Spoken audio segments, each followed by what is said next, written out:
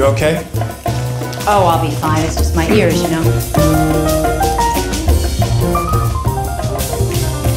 I think I should skip Budapest and just go straight to Paris. I'm driving back now. May I make a suggestion? I'll take care of her. That's very generous, but you sure it's okay with you? So let's pretend we don't know where we're going, or even who we are. Oh, brother. Driving is the only way to see a country. Turn a little. Oh, yes.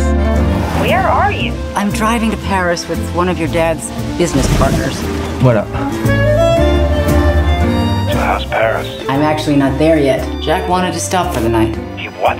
Santé. Don't forget, he's a Frenchman. Oui, tu te le vas, et tu vas, tu vas près Are you happy? We have a good marriage. That's not what I asked you. Are you happy? De tes yeux The Rhone River is nearby. Are we ever going to get to Paris? There's an excellent museum. You should go and see it. No, no, please. We're going to Paris. Et ça me plaisait si. Voilà. Escargot. Si on ne disait, But I thought we'd be in Paris by now. Paris can wait. tu me pris fort, fort dans tes bras. Look, Fisley! Let's make a little detour. Who are you? And what have you done with my American friend, always in a hurry to get to Paris? qui me disait Je suis amoureux et ça me plaisait si bien. Okay, Jacques. Straight to Paris now, right?